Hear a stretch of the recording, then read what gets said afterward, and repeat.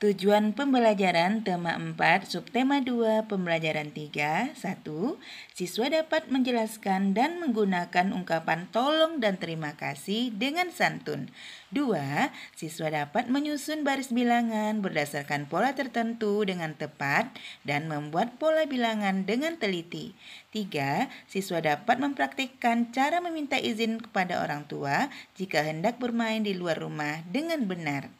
Assalamualaikum warahmatullahi wabarakatuh. Kembali bertemu dalam pelajaran tematik Tema 4, subtema 2, pembelajaran 3 Kita akan bertemu dengan keluarga Dayu. Namun sebelumnya marilah kita membaca Bismillahirrohmanirrohim Robbi zidni ilman warzukni fahman. Amin ya robbal alamin. Marilah kita menyimak cerita Dayu dan keluarganya. Dayu senang membantu ayah dan ibu di rumah. Dayu membantu ibu menyapu halaman. Setiap hari libur, Dayu juga membantu memasak. Nah, Ananda semua, kamu juga pasti senang membantu orang tua. Kegiatan apa saja yang sering dilakukan? Coba perhatikan tabel di samping. Di sini ada beberapa kegiatan yang bisa dilakukan di rumah. Apakah Ananda juga punya kegiatan yang biasa dilakukan di rumah untuk membantu orang tua? Silakan dituliskan ya. Mari kita membaca dengan nyaring. Memasak bersama keluarga. Hari Minggu pagi, Dayu membantu ibu memasak. Ibu memasak sayur sop. Ibu mengambil enam wortel dan empat kentang. Ayah menyiapkan buah ada 10 apel dan 8 pisang. Dayu membantu ibu dan ayah. Dayu senang belajar memasak. Dayu senang melakukan kegiatan bersama orang tua. Mari kita simak percakapan Dayu dan ibunya ketika memasak. Dayu, tolong ambilkan wortel. Baik, Bu. Apakah wortelnya boleh Dayu cuci dulu? Terima kasih Dayu. Ibu senang Dayu selalu membantu ibu.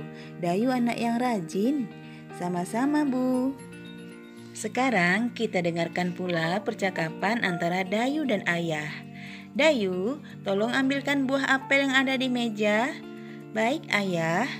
Terima kasih, Dayu. Ada berapa banyak buah apelnya? Ada 10 buah. Ananda semua, dari percakapan Dayu dengan ayah dan ibunya, kita bisa mengambil dua kata yang selalu dipakai, yaitu kata tolong dan kata terima kasih. Sekarang, marilah kita hitung jumlah buah-buahan dan sayur-sayuran ini. Coba ada berapa kentang yang ada di gambar? Betul, satu, dua, tiga, empat. Ada empat kentang. Kemudian wortelnya ada berapa? Iya, ada 6 wortel.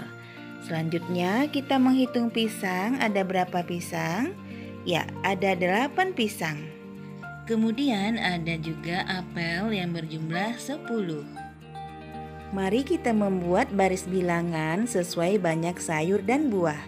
Kita susun dari bilangan yang kecil ke yang besar.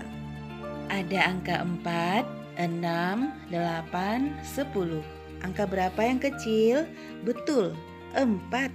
Kemudian 6, kemudian 8, dan yang terbesar 10.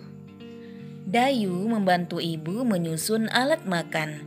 Peralatan makan terdiri dari centong nasi, gelas, piring, dan juga sendok makan.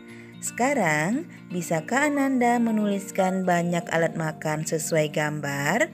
Kemudian, buatlah garis bilangan sesuai banyak alat makan tersebut. Susunlah dari bilangan yang kecil ke yang besar. Lakukan secara mandiri dan teliti. Ibu Dayu menyiapkan bumbu dapur. Bumbu dapur terdiri dari cabai, kemudian ada jeruk nipis, bawang putih, dan bawang merah.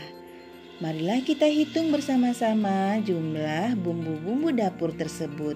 Tulislah banyak bumbu dapur sesuai gambar, buatlah baris bilangan sesuai banyak bumbu dapur, susunlah dari bilangan yang kecil ke yang besar, lakukan secara mandiri dan teliti. Pada hari libur, Dayu juga senang bermain. Setelah membantu memasak, Dayu akan bermain bersama teman-teman. Dayu minta izin kepada ibu. Mari kita dengarkan percakapan Dayu dan ibu. Bolehkah aku bermain bersama teman-teman, Bu? Main ke mana, Dayu? Ke rumah Siti, Bu. Kami ingin bermain di kebun. Baiklah, bermainnya sebentar saja ya. Terima kasih, Bu. Sama-sama, Dayu.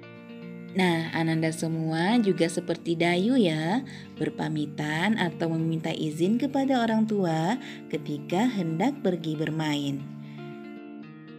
Nah, Ananda, sampai di sini pertemuan kita pada pembelajaran tematik tema 4, subtema 2, pembelajaran 3. Sampai berjumpa lagi di materi berikutnya. Selamat belajar dan tetap semangat.